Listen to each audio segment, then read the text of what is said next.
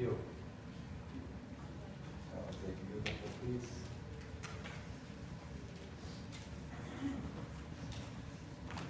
See you through. And so you shall be seen through. And into and around and about and everywhere. That's pretty much what the lessons are about today.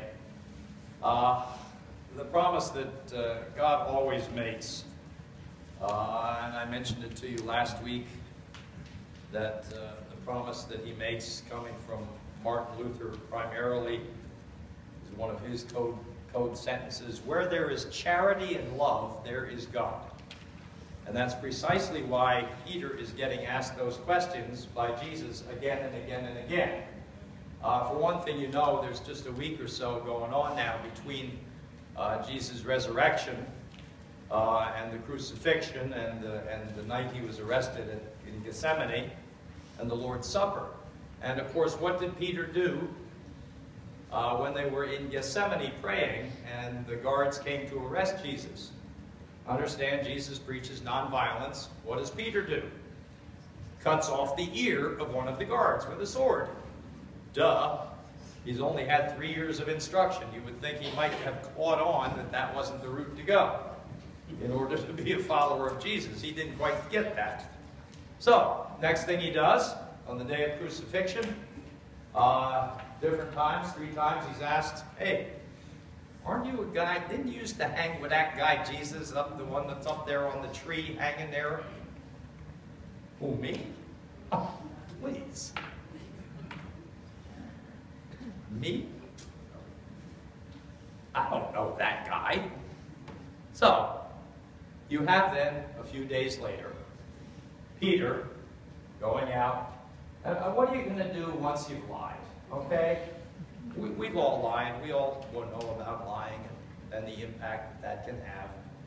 Uh, especially the big stuff, because usually you have to tell a second lie to cover up the first lie, and then go on to the next lie to cover up, and so on and so forth. And then pretty soon you lose friends because you don't want to see those people again because you know you're going to get caught, so then you start making some new friends.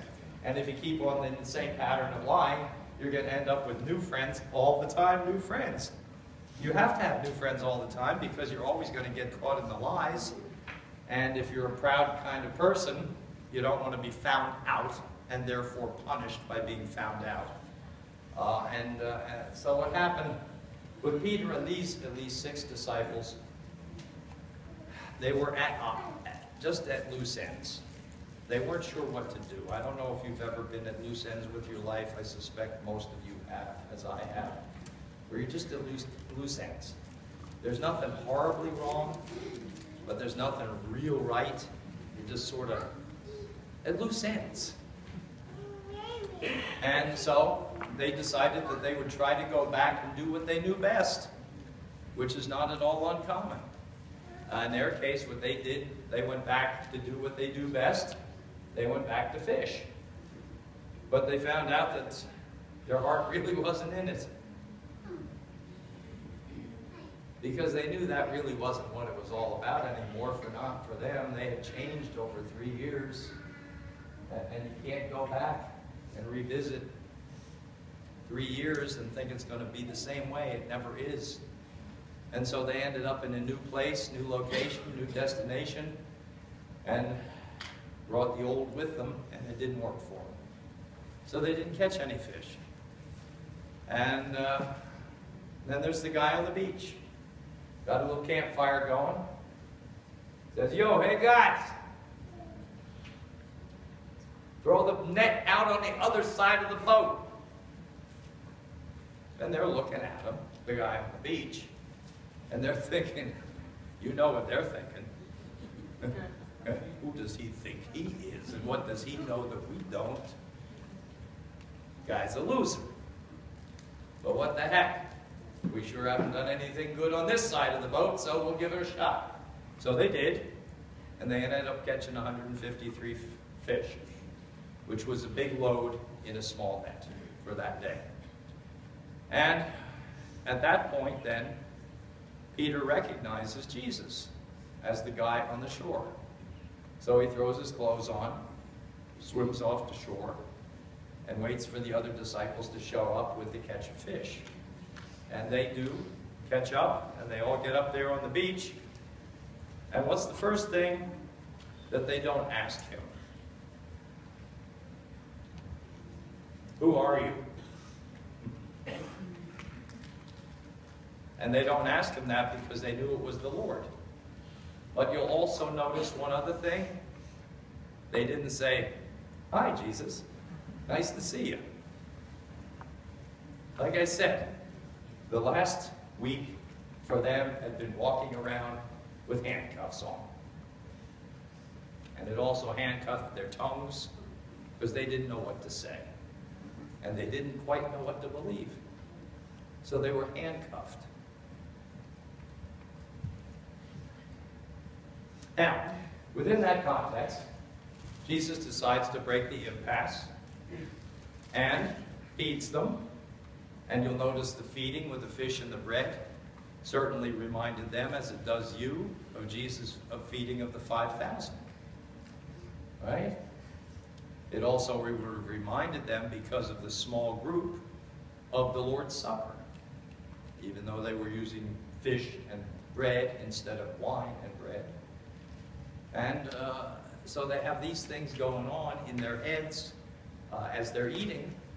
And then Jesus has to do something with Peter. What do you do? No, I'm serious. What do you do with somebody who you really love, who's a complete screw up?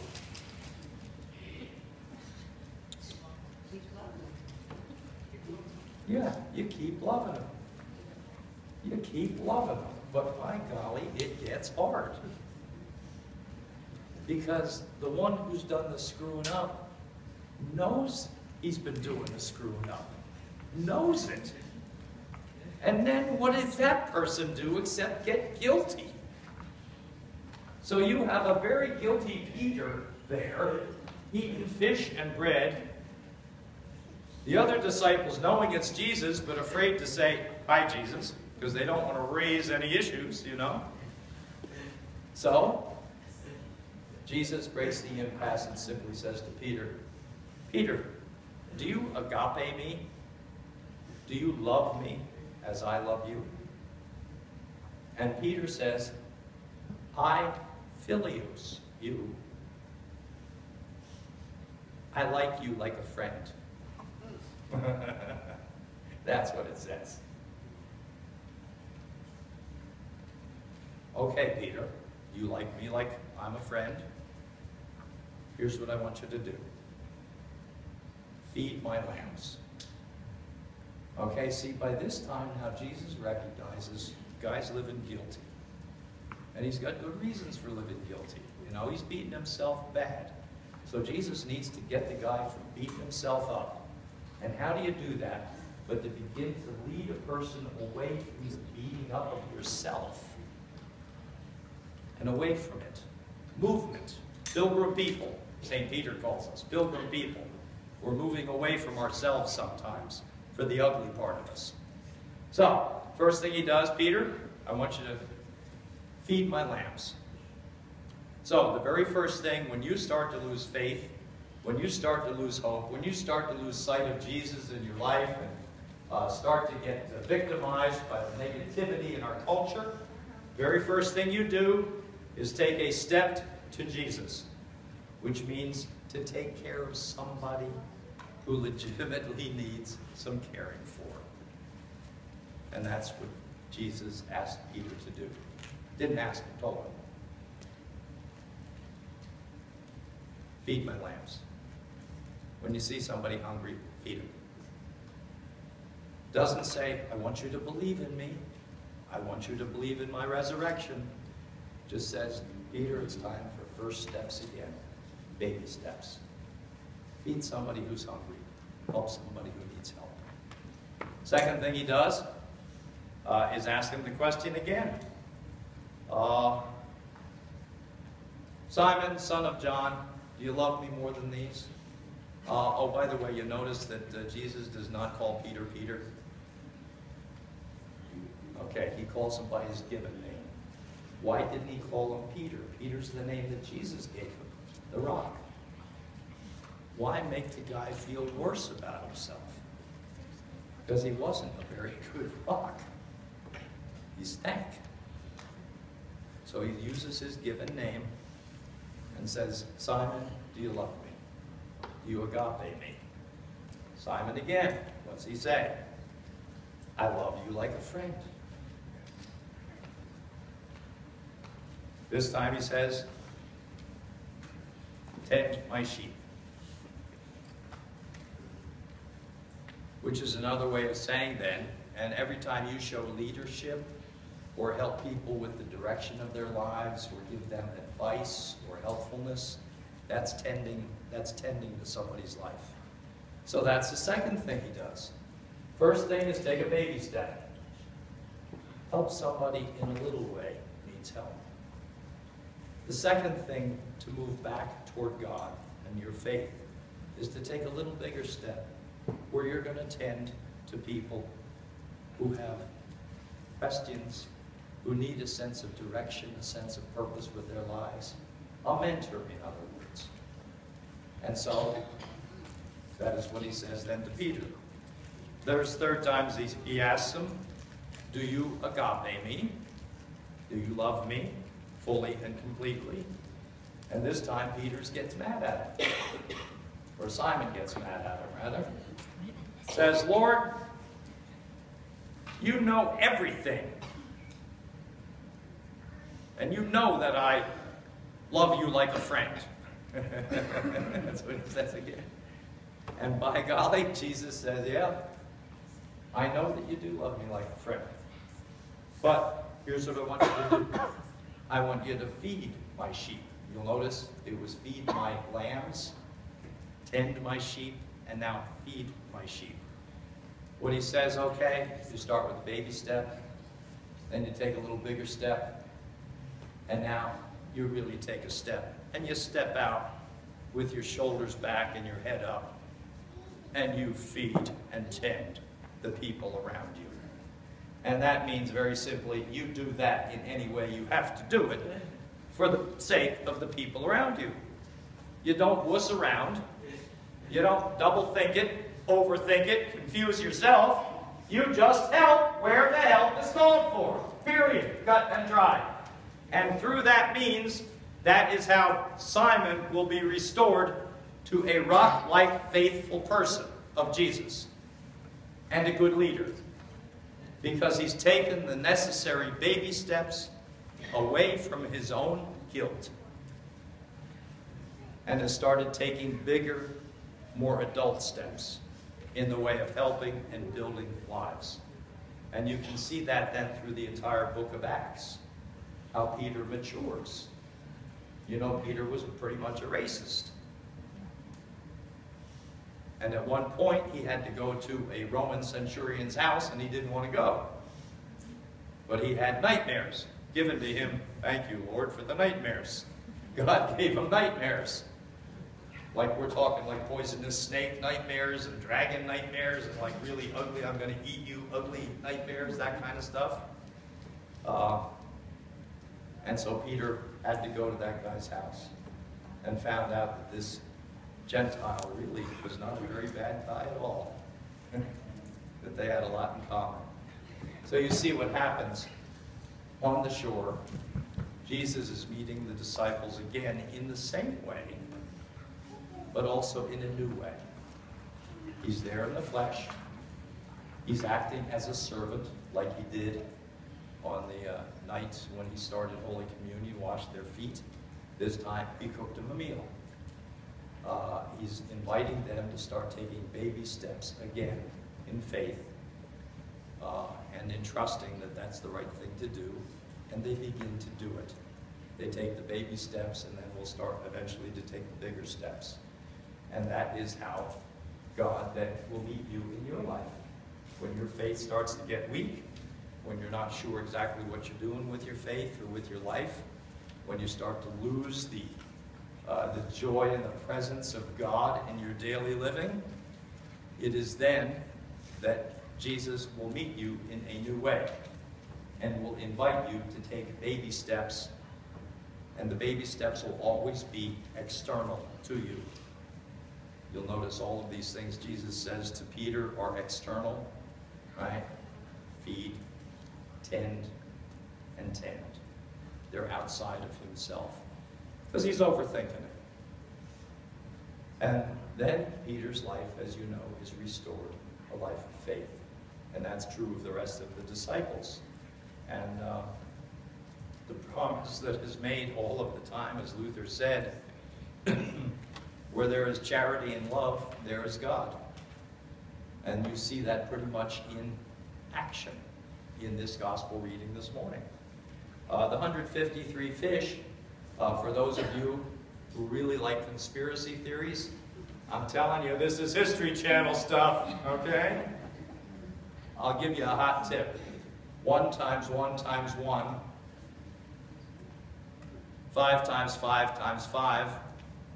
Three times three times three. Add, the, add them up, each of the answers, and you will come up to guess what number? Uh-huh. Now to really jazz it up, each of the Hebrew letters was assigned a number. And the letters and the numbers mean a certain phrase that appears in the Bible nine different times. No, I'm not going to tell you the phrase. No, you looked it up yourself. You do a little homework. You're so darn lazy. what I'm saying is, there is a there is a certain numerology that's present in the Bible, uh, and, uh, and, you, and you can have some fun with it. But what's the master message of that 153 fish in the net? Nobody got away. And that really is the promise that the guys on the beach finally realized. God doesn't let anybody that he chooses get away.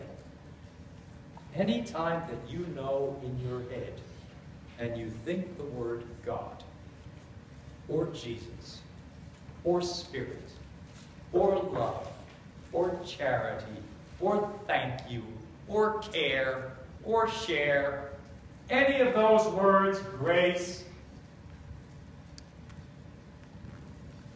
that's how you know you've been caught in God's net.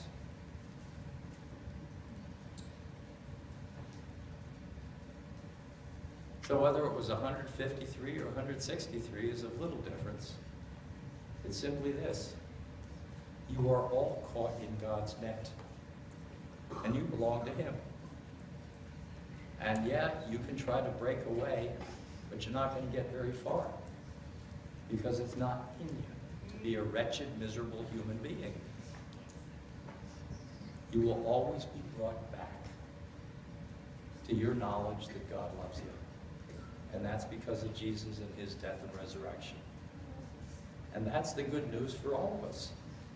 We're part of the net.